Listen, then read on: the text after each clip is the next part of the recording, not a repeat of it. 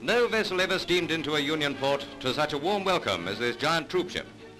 A one-time luxury liner working the transatlantic route, it brings a thousand Springboks home on leave. The men are mostly members of the 1st South African Division which took part in the historic Abyssinian campaign. They've more than earned their leave, quite apart from the fact that they'll return to fight like giants refreshed. But that's looking ahead.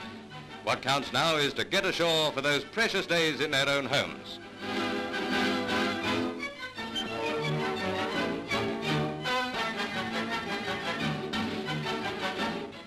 Plenty of cups of you and me are served out by women helpers. A batch of Italian prisoners arrive as non-paying guests. Musso promised them South Africa, but they didn't think they'd see it this way.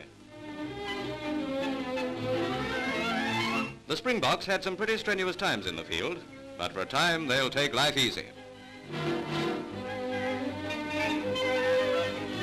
Johannesburg station is crowded with loved ones eager for the first glimpse of their menfolk. A station platform, when a leave train pulls in, somehow breaks down all reserve. Reunions are moments of sacred happiness which belong to them alone.